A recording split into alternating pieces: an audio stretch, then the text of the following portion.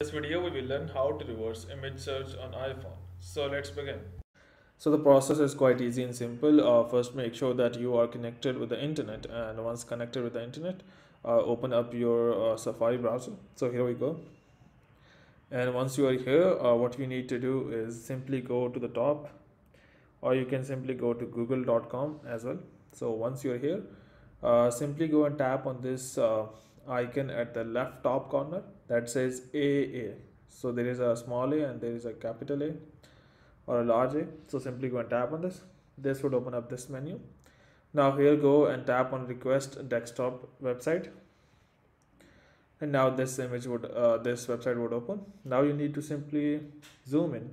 And here at the top you can see images. Tap on images. And once you are here, what you need to do is again go to here and request a desktop website. So here we go. Now go and zoom in. And here you can see a camera icon. Tap on camera icon. And here you can see an option of upload an image.